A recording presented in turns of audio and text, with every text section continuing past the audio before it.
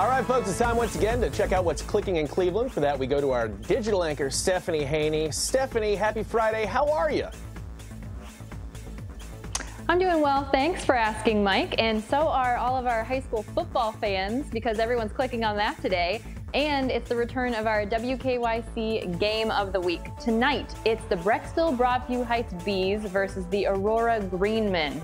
Dave Dino DeNatale will be calling the game live from the stadium. I know we'll be hearing from him later in the show. And 3 News Tyler Carey will join Dino for post-game coverage.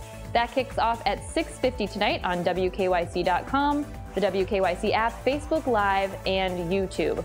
Now, switching to the world of sports, our Dave Chudowsky talked with Cleveland pitcher Triston McKenzie about his secret talent, solving the Rubik's Cube. Listen to this. How quickly can you do it? Uh, under two minutes, maybe a minute and a half. When's the first time you did that?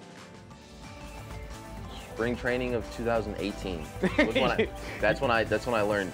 But I, I always keep her close to me. I always write her initials. That is pretty fast.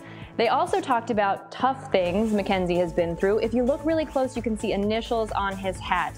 Those are the initials of his baby cousin who his family lost during McKenzie's senior year of high school, and that's how he keeps her close to his heart. And they talked about texting.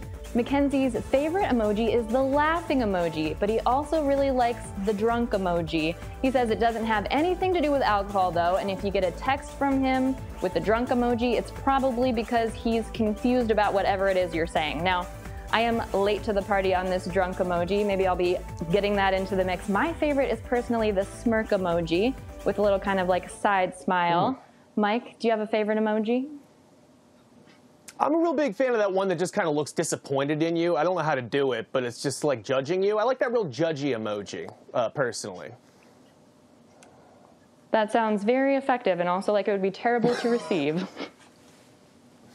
yeah, that delay made it even better. I appreciate it. Thank you, Stephanie.